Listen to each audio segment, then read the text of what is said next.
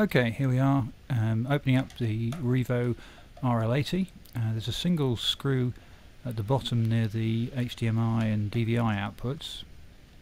Once you've removed that, um, it's merely a matter of unclipping the top of the case.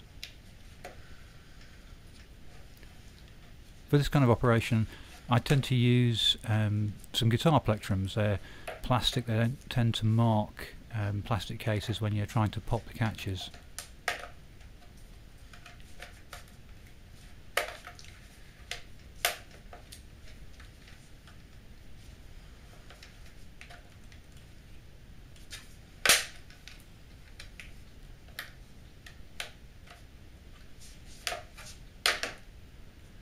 As you can see uh, it's a fairly um, easy process just going along the edges gradually unclipping the plastic clips that hold the top on.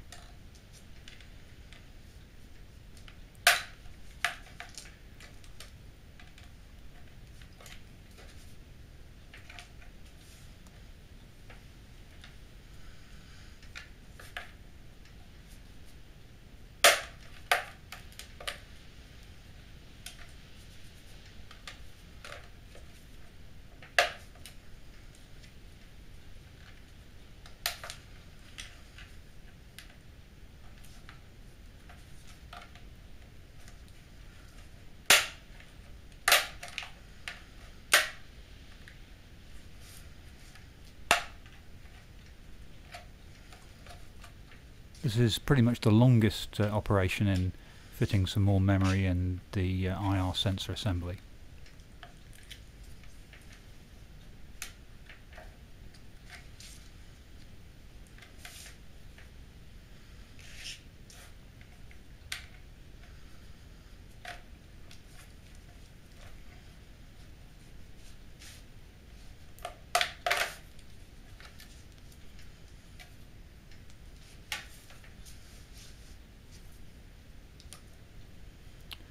Okay, once we've got the plastic top off, there are just four screws to remove the metal RFI shield along the bottom.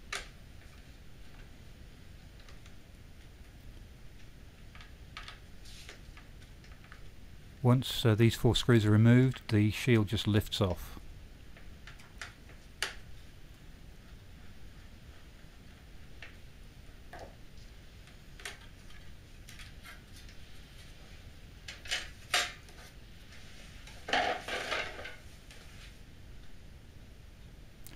Okay, here's where the second stick of uh, memory clips in. I'm adding another 4 gig here. And as you can see, it's fairly quick and simple process. Now I'm about to fit the header for the IR sensor assembly. You notice there's three pins out of four. The uh, red wire goes to the leftmost pin.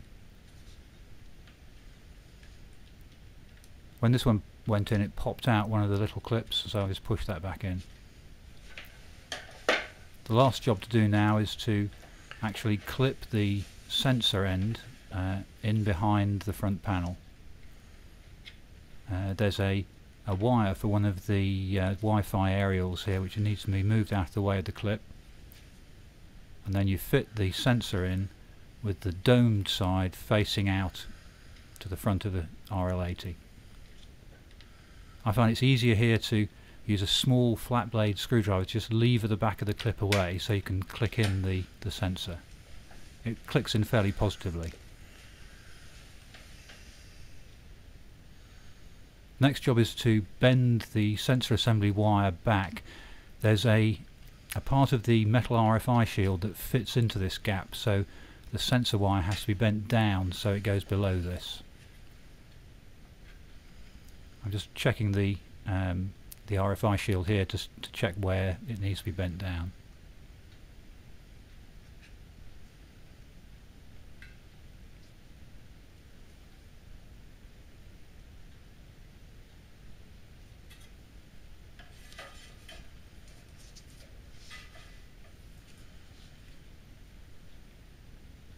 It's almost out of frame at the top here, but you can see I'm using that small screwdriver again, not using the end of the blade but the edge of the blade to, just give a positive bend on that wire and then clip the remaining part behind the M-SATA uh, interface.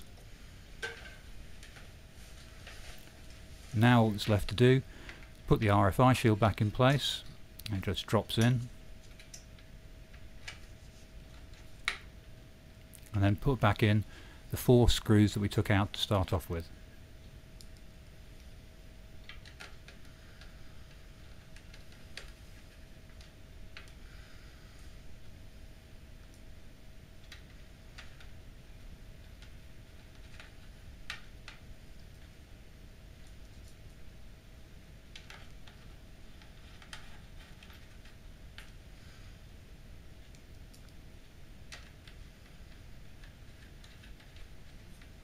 Once the RFI shield's back in place, it's merely a matter of clipping back on the plastic top.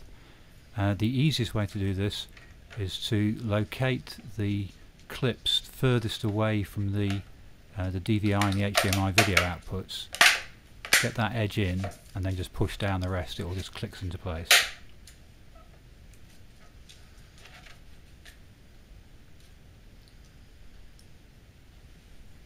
Final operation is to put back in the locking screw that holds the plastic top on.